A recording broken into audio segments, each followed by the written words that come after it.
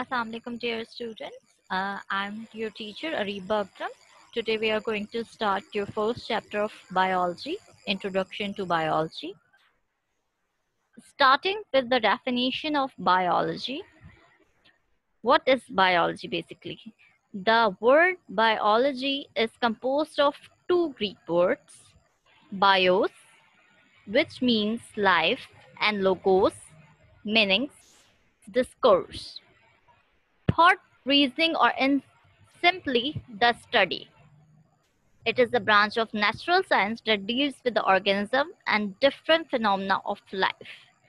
Biology is further divided into two main branches, botany and zoology.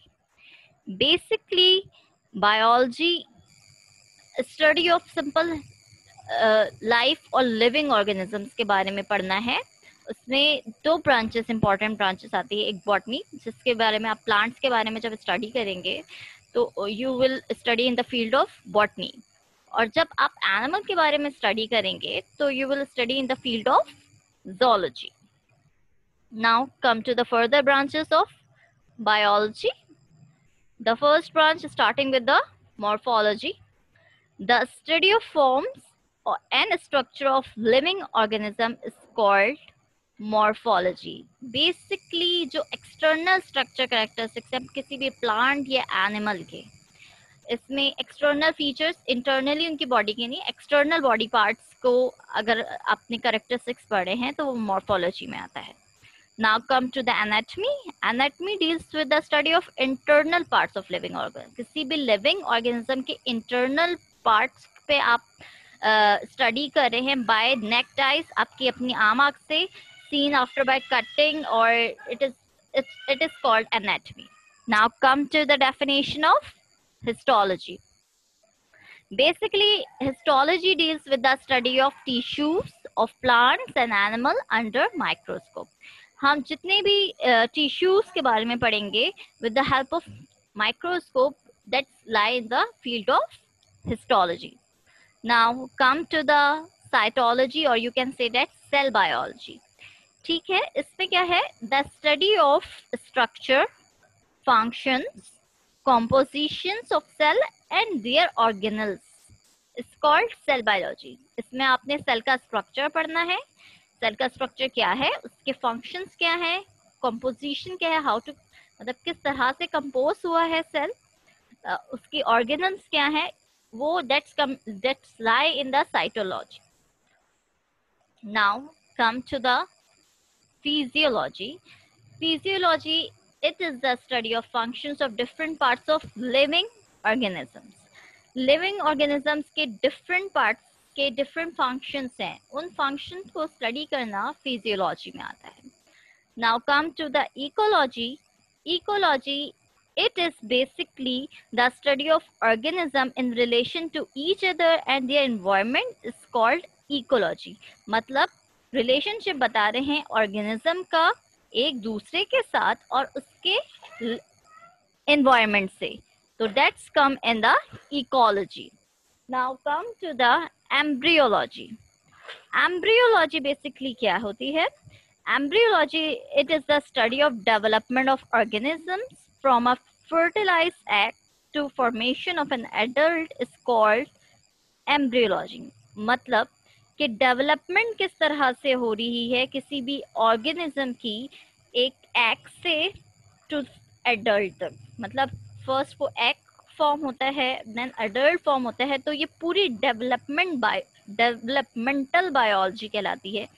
ठीक है the stage between zygote to newly hatch और born baby this is called embryo now come to the taxonomy taxonomy basically uh, it is the study of living organisms are classified into the groups then subgroups on the basis of similarities dissimilarities हम living organisms को groups में कर देंगे basically ये classification कहलाती है and taxonomy is a field of uh, biology in which organisms are classified इसमें organize uh, organisms को हम classified करेंगे और उनको scientific names देंगे तो ये हम टेक्सोनॉमी के अंदर पढ़ेंगे। Now come to the genetics genetics क्या है it is the study of methods of principle of biological inheritance of the characters from parents to their offspring मतलब वो इनहेरिटेड करेक्टर्स जो कि आपके अंदर ट्रांसमिट हो रहे हैं आपके पेरेंट्स से ऑफस्प्रिंग में। मतलब आपके पेरेंट्स से आपके अंदर जो करेक्टरिस्टिक्स जो आपने इनहेरिट किए by the help of heredity जो आपके अंदर ट्रांसमिट हुए हैं that's come in the branch of genetics now come to the palaeontology Pliontology basically it is the study of body parts of ancient organisms. Ancient organisms वो organisms जो बहुत पुराने होते हैं और their impressions preserved और जिनके impression हमने प्रिजर्व कर लिए हैं जो अब एक्सटेंट हो गए हैं जो अब मौजूद नहीं है जो उनके जो इम्प्रेशन है वो प्रिजर्व रॉक्स में प्रिजर्व होते हैं तो उसे हम कहते हैं फॉसल्स मतलब उनके फॉसल्स हमें मिले हैं. That's called the preserve organisms जो कि अब दुनिया में एक्सटेंट हो चुके हैं लेकिन by the help of their impression preserve तो वो हम उन, उनको उन ऑर्गेनिजम्स को फॉसल्स कहते हैं. The study of fossils is called palaeontology तो हम उन फॉसल्स के बारे में जब स्टडी करेंगे तो वो किस ब्रांच में आएगा? प्लायोंटोलॉजी में. Then it is further divided into two branches ये भी फर्दर डिवाइड होता है दो ब्रांचेस में। पहला क्या है? प्लायोबॉटनी प्लायोबॉटनी बेसिकली क्या है? The study of plants plant के फॉसल्स को जब आप स्टडी कर रहे हैं तो प्लायोबॉटनी है। और जब आप एनिमल के फॉसल्स को स्टडी करेंगे तो वो प्लायोजोलॉजी है। Now come to the biochemistry biochemistry basically it is the study of metabolic reaction taking place in living organism is called biochemistry आपकी बॉडी के अंदर डिफरेंट केमिकल रिएक्शंस हो रहे हैं उन केमिकल रिएक्शंस के बारे में पढ़ना क्या कहलाता है बायोकेमिस्ट्री दीज रिएक्शंस में बी कंस्ट्रक्टिव और डिस्ट्रक्टिव जो आपकी बॉडी के अंदर रिएक्शन हो रहे हैं, वो कंस्ट्रक्टिव भी हो सकते हैं डिस्ट्रक्टिव भी होते हैं both are the reactions comes in the field of biochemistry now come to the microbiology the study of microscopic living organism microscopic living organisms वो ऑर्गेनिजम्स होते हैं जो कि बहुत माइन्यूट होते हैं और आपकी आम आँख से नज़र नहीं आते, वो माइक्रोस्कोप से नज़र आते हैं. That comes in the field of microbiology now come to the biotechnology biotechnology it is a branch of biology which deals with the practical application of organisms and their components of welfare of human beings अब bio technology means bio के साथ attached हो गई है technology different types of technology which is attached with the bio आपकी life से different जिस जिस तरह से एक एग्जाम्पल आप ले लें डिसइनफेक्टेंट की प्रिजर्वेशन ऑफ फूड की प्रोडक्शन ऑफ इंसुलिन की and biogas from bacteria. So these are the example of biotechnology. Now come to the steps of biological methods. There are different steps which are we are going to perform uh, of biological method to study or to explain the biological method. Now first uh, step is observation. Observation, most of the biological investigation starts with the observation आप जब तक किसी भी चीज़ को observe नहीं करोगे investigate नहीं करोगे, आप उसके बारे में कोई भी थॉट नहीं पेश कर सकते। Now come to the hypothesis to solve a scientific problem कोई भी साइंटिफिक प्रॉब्लम को सॉल्व करने के लिए वन और more possible propositions are meet एक से ज़्यादा प्रोपोजिशंस मीट होती हैं on the basis of observation के बेसिस पे। उन प्रोजिशन को आप क्या कहलाते हैं? हाइपोथेसिस कहलाता है। It calls educated guess guess है ये एक तरह का एक तुक्का एक जो आपकी आप कहते हैं एक साइंटिस्ट जो लग, लगाता है after reading the content now come to the deduction basically the logical conclusion drawn from a hypothesis एक लॉजिकल कंक्लूजन जो हम हाइपोथेसिस के ज़रिए लेते हैं that's called deduction now come to the experiment experiment basically दो ग्रुप्स में हम फॉलोइंग में हम डाल देते हैं इसको. एक्सपेरिमेंटल ग्रुप कंट्रोल ग्रुप जिसकी बेसिस पे बाय द हेल्प ऑफ़ जब हम प्रैक्टिकल करेंगे तो उसकी बेसिस पे हम रिजल्ट्स निकालते हैं. तो उनकी बेसिस पे जब हम रिज़ल्ट निकालेंगे तो वो रिज़ल्ट एज अ हम रिज़ल्ट शो करेंगे, जो हमें एक्सपेरिमेंट से मिलता है. दैट्स कॉल्ड रिज़ल्ट और थ्योरी हमारे पास क्या होती है? अगर हमारा हाइपोथेसिस करेक्ट फॉर्म हुआ रिपीटेड एक्सपेरिमेंट्स हमने किए और हाइपोथेसिस हमारी करेक्ट फॉर्म हुई तो वो क्या कहलाएगा हमारा? वो हमारा कहलाएगा लॉ और theory now come to the next slide contribution of Muslim scientists in the field of biology. Different Muslim scientists contributed in the field of biology. बहुत सारे साइंटिस्ट हैं जिन्होंने बहुत सारे काम किए हैं बायोलॉजी की फ़ील्ड में। सबसे पहले साइंटिस्ट हम कह सकते हैं Jabir bin Hayyan. Jabir bin Hayyan actually he wrote the two books Al Nabatat and Al Hayawan इन्होंने इनकी जो टू फ़ेमस बुक्स थी बुक्स तो इन्होंने काफ़ी ज़्यादा लिखी, लेकिन टू मोस्ट फ़ेमस बुक्स हैं इनकी अल नबातात एंड अल हैवान। जिसके जिसमें he studied the life of plant उन्होंने लाइफ ऑफ़ प्लांट को डिस्कस किया एनिमल की लाइफ को अल हैवान में डिस्कस किया and wrote many books about them इनके बारे में बहुत सारी किताबें लिखी। Now come to the Abdul Malik Asmai he was uh, basically he uh, wrote a book al khil al ibl asha al wahush खलाकुल इंसान, ये सारी इनकी बुक्स हैं। और इन्होंने क्या कंट्रीब्यूशन की? He describe the body structure को इन्होंने डिस्क्राइब किया and functions of horses camels sheep wild animals and human being in detail इनके बारे में इन्होंने detail body structure and function अपने बुक्स में लिखा। Now come to the Ali bin Rabban Tubri.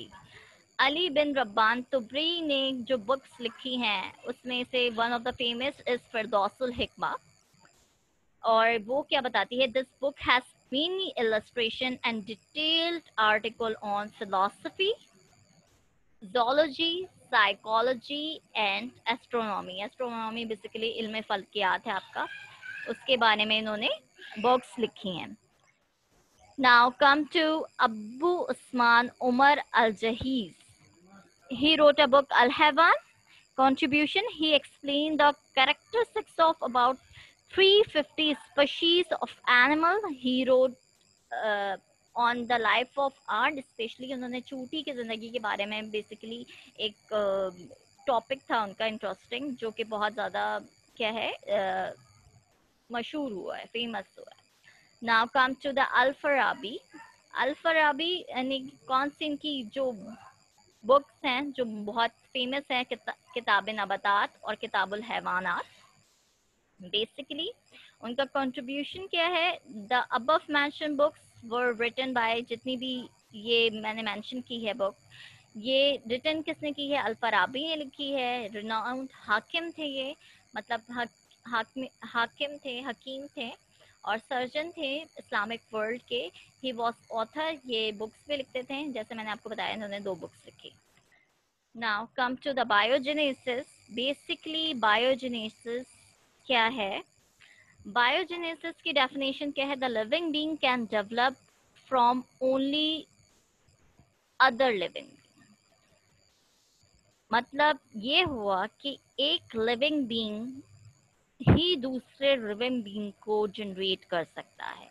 सिर्फ़ एक लिविंग के अंदर कैपेबिलिटी है to generate the living being basically it describe the origin of life on earth मतलब ज़िंदगी जो हमारी ओरिजिन है लाइफ का अर्थ पे, वो प्री एग्जिस्टिंग लिविंग ऑर्गेनिजम्स की वजह से है। जो पहले से मौजूद लिविंग ऑर्गेनिजम्स हैं, वो ही जनरेट करने की कैपेबिलिटी रखते हैं।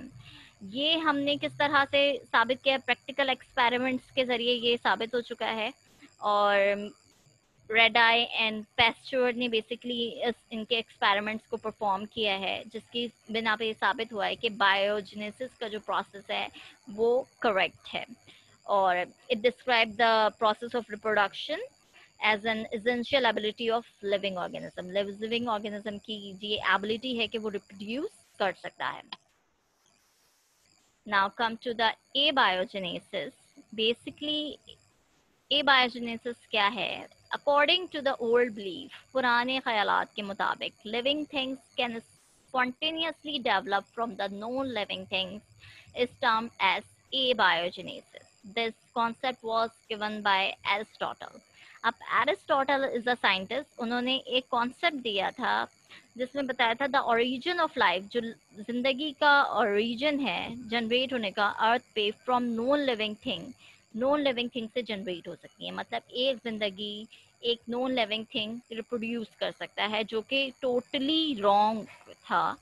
ठीक है? It was based on observation and national thoughts उनकी कुछ एक्सपेरिमेंट्स थे जिसके ज़रिए उन्होंने ये बात साबित करने की uh, कोशिश की। After that it's experiments going to wrong it is no scientific reasoning about the production of life उसमें कोई साइंटिफिक रीजनिंग नहीं थी कि प्रोडक्शन ऑफ़ लाइफ हुई है। Now thank you for listening students